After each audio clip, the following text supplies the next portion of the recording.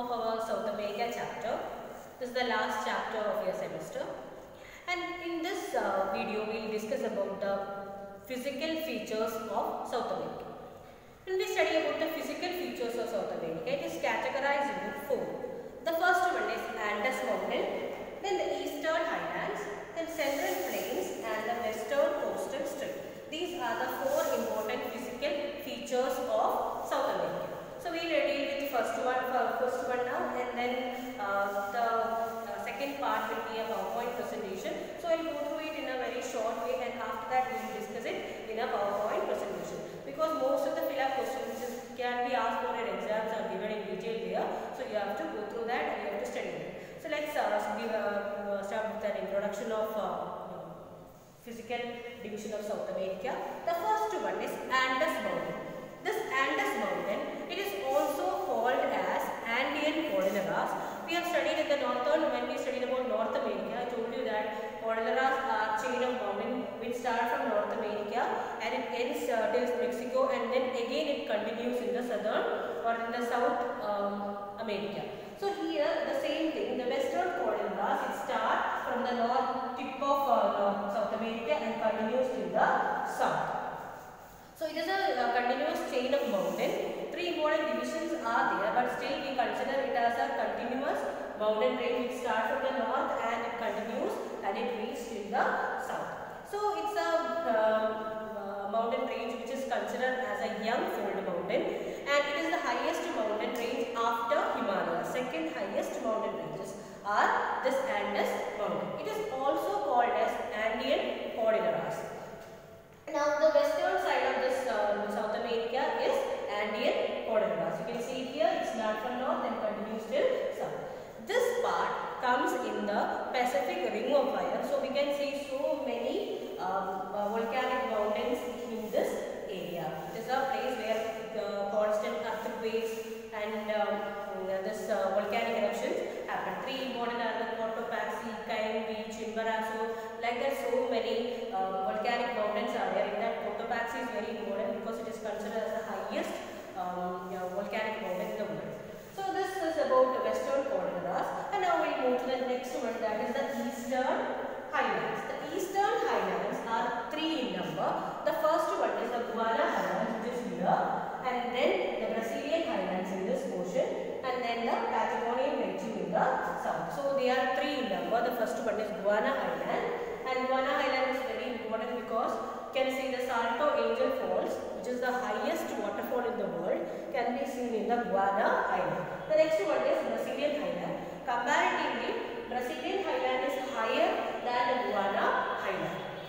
Then the last one is Patagonian Plateau. It is not a mountain region, it's a plateau, it's a tableland and it is also considered as a cold desert like our Ladakh. So it's a cold desert region, Patagonian Plateau. So these three are the eastern highlands. So in the western side you can see the mountain ranges, Andes mountain ranges and in the eastern side these three highlands are there. The first one is Guiana Highland and the Brazilian Highland and the third one is the Patagonian Plateau. Now moving towards the third one is the central lowland. In the central lowlands, grasslands are there, thick forest, evergreen forest are there. So we can uh, categorize it as the first one is Llanos near Venezuela. We can see here Llanos. It's a um, uh, tropical, oh sorry, uh, it's a grassland which can be seen in the torrid zone. So here you can see the Llanos grassland. It is a tropical grassland. And uh, here again you can see uh, selvas. Selvas are um, evergreen forest which can be seen in the Brazilian um, Amazon forest which is in Brazil. So selvas are the evergreen forest and here llanos are the grasslands which can be seen in the uh, tropical region. Now coming toward the south, here uh, we can see the Gran Chaco region. In the Gran Chaco region is considered as the most fertile place in South America and toward the south we can see uh, another grassland called Pampas. Pampas are another grassland which can be seen in the south of South America. So here four important things we have to study that is the first one is Llanos, Selvas, then the Gran Chaco region and the Pampas. These are the four important and all the many rivers are there. Uh, this is called the land falls to Rio de La Plata. So when three rivers are there, Uruguay, Paraguay and Parana. So these three things make this Gran Chaco region very fertile. And coming toward the last one that is the western coastal strip. The western coastal strip is the most narrow coastal area in the world. Can be seen in this place here and here it is Atacama Desert and this place the western coastal strip comes between Pacific Ocean and the Andes Mountain. It's a very narrow ocean which comes between Pacific Ocean and the Andes Mountain. So it is considered as the most narrow um, plain in the world. Atacama Desert lies in this. So this is all about the introduction of uh, uh, this uh, South America political, uh, sorry, physical features and they are Andes Mountain, Eastern Highlands, Central Lowland and Western Coastal Strip. The uh, more details and the points which you have to remember and study is given in the second part of this video that is the PowerPoint presentation. So let's continue with the PowerPoint presentation. Let us continue with the physical features of South America. The physical features are four in number. The first one is the Andes Mountain, second, the Eastern Highlands, third, the Central Lowlands or the Central Plains, and the fourth one is the Western Coastal Strip. So, these are the four important physical features of South America. This continent has many snow-capped mountains, extensive evergreen tropical forest like for example Amazon forest, vast fertile plains and hot desert. Its uh, land features can be divided into four and these are Andes, Eastern Highland, Central Lowland and Western Coastal Strip. Now we'll uh, discuss about each one in detail. The first one is the Andes Mountain. The Andes Mountains are the western mountains of South America and this area is prone to volcanic eruption and it comes under Pacific Ring of Fire and it is also referred as Andean Cordilleras. It is the world's longest chain of mountain and the second highest mountain range after Himalayas. They are made up of young fold mountains. It stretches about 8000 kilometers and they are young fold mountains which can which uh, run parallel to Pacific Ocean in the western part of South America. The mountains extend from Panama in the north to Cape Horn in the south. So, in this part, also many fill up questions can be asked. So, write down these points, or you can write some fill up questions from this part, and you can learn that. Andes Mountain are the, uh, are the western mountain of South America. So, it is also called as Andean Cordilleras. So, they are also made up of young fold mountains, and they are the uh, second after Himalayas. They are, according to their height, they are in the second position after Himalayas. Now you can see the image here. It started like uh, in North America when we studied about the Cordilleras.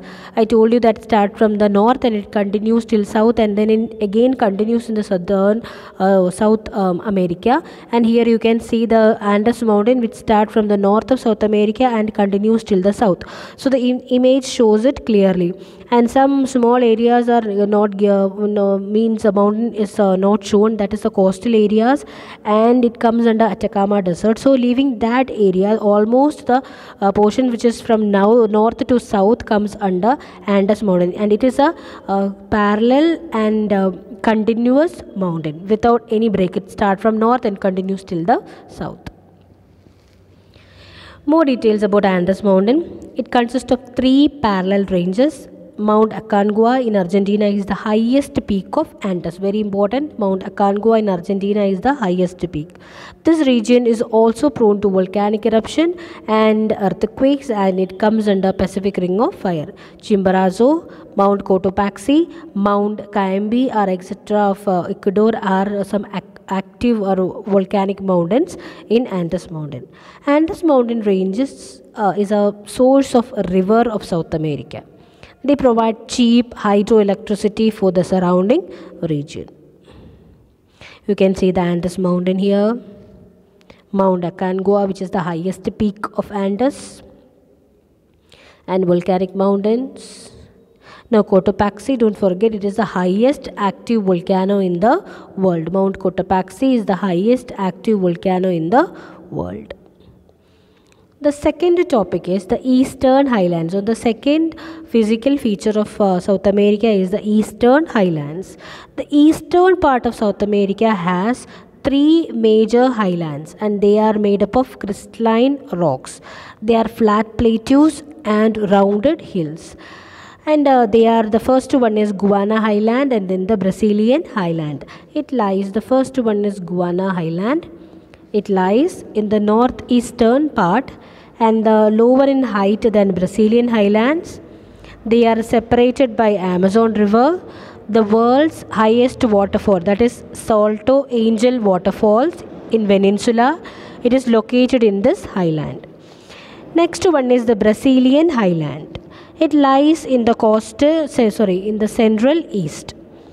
They are more extensive and higher than Guiana Highlands. It lies south of Amazon River. So in this part the most important one is the highest waterfall that is the Salto Angel Falls and it is in Venezuela.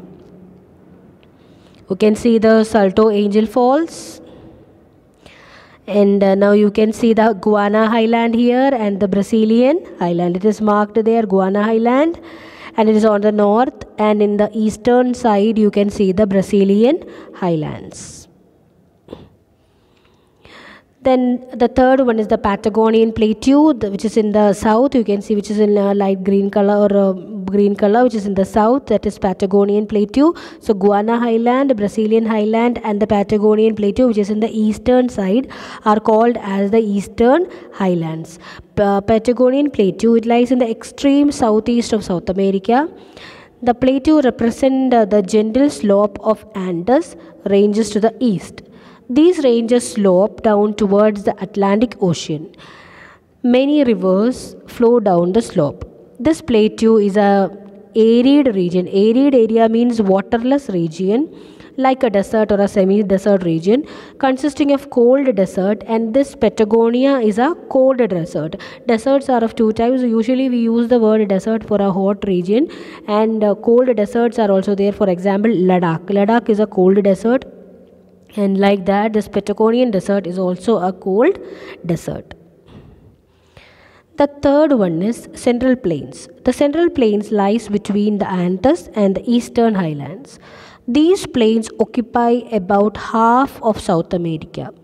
It consists of three main river basins. They are Orinoco and the Amazon in the north and La Plata river in the south. So it central plains are in the almost middle portion of South America it consists of three river basins the river basin of River Orinoco and Amazon in the north and La Plata River in the south. You can see it here.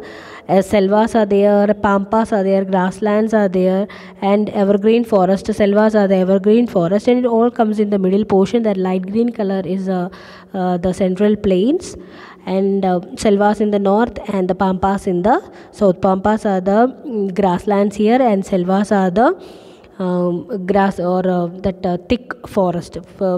in Amazon basin, we can see the Amazon rainforest. In those areas, we can see this selvas. And more details about the central lowlands or the central plains. The Orinoco River Basin lies in the north part of central lowland. Orinoco River rises in the Guiana Highlands and joins the Atlantic Ocean. It is a navigable river. Orinoco River crosses uh, uh, the Llanos plains of Venezuela. It crosses the Llanos plains of Venezuela. Its basin is covered by tropical grasslands called llanos, which means plains. So here we can see a grassland. It is called the tropical grasslands are called llanos and now the Amazon basin. It lies in the central part of lowland, largest of uh, three basins. And here we can see a tropical evergreen forest. Very important. Learn that. It's a, um, a tropical grasslands are called llanos. Very important. And the next one is tropical evergreen forest are called selvas and they contain so many hardwood trees because they are in the tropical region tropical rainforest region so we can see so many hardwood trees there. La Plata Basin It lies in the south of central lowland, the Paraguay, Parana, and Uruguay. These are the three rivers. Together, we call it as the La Plata river system. So, which are the rivers which we call as La Plata river system? It's a combination of three rivers. They are Paraguay, Parana, and Uruguay. These three rivers combined together, we call it as the La Plata river system. The north of this basin lies in the northern region or in the region called Gran Chaco region. This region is very commonly called as the Gran Chaco region and it's a vast fertile alluvial region because uh, it's a valley of three rivers. The central area of this basin consists of a grassy land or grassland called pampas. So here you can see the grassland which is in Argentina. It's called as pampas and the extreme south lies the Patagonian desert. On the south it is Patagonian desert. So these are about important uh, things that is llanos, campos, pampas these are different grasslands which we can see in south america and now the last portion that is the western coastal strip of south america it's a very narrow lowland it runs down continuously from the northern end of the continent to the south between the Andes Mountain and the Pacific Ocean. It is a narrow because of the sharp slope of Andes Mountain. Andes Mountain is there and in one, in the uh, in one side and the Pacific Ocean in the other side. So it is sandwiched between this Andes Mountain and the Pacific Ocean. So it's a very small narrow area. It is found in Chile, Peru, Ecuador, and Colombia. The Atacama Desert is very important. It lies in the coastal strip. It is a desert which we can see in South America, and this desert is a very narrow desert, and it is between Pacific Ocean and the Andes Mountain. It forms the longest but the most narrow plain in the world. So this you can see it here, the Atacama Desert and the plain of uh, South America which is uh, from which start from the north and continues here which is given in the picture. It is Atacama desert. And uh, it's also a very narrow strip of land which is from north to south and the countries which uh, which is included are Chile, Peru, Ecuador and Colombia. And these are the main four important physical features of um, South America. And in the last next portion or the third part will be the last part of our uh, video of uh, sixth of your class. And after that I'll upload one um, map of South America. And in this part we are winding up here till uh, western coastal strip and in the next part we'll study about islands rivers and uh, some case study about amazonian basins and the people who live there. So this is the end of our second part of south america. Thank you